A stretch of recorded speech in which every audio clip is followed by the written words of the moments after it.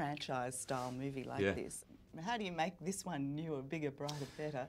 This particular story, I'll be honest with you, I felt we still had something to prove after the last film. It wasn't, it didn't quite come out as I'd imagined, which was a definitive movie about the character. I'm not gonna lie to you.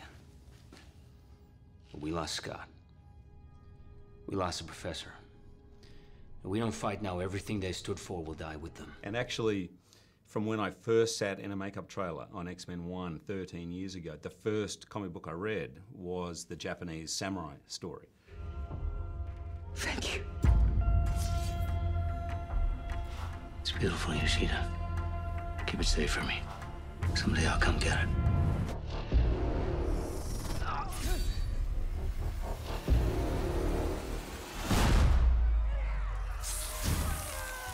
Every time he has to do one of these, the work involved, which people don't see, is how hard he works on just getting the body right for it. I mean, it's Yeah. such strict Yeah. diet and workout, and every time I I, have turn around, he's on a science. treadmill or he's lifting a weight or Yeah. having another slab of chicken.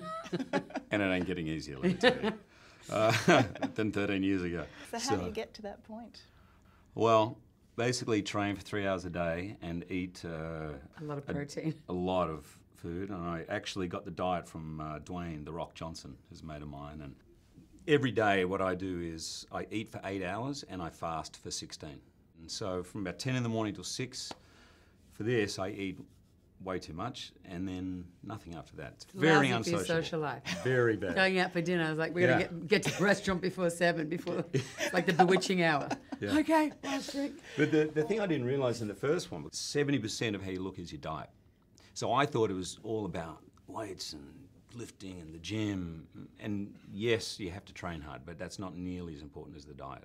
Do you like the transformation? Well, I get to. I like him a bit chubbier. It makes me look better. It's all that.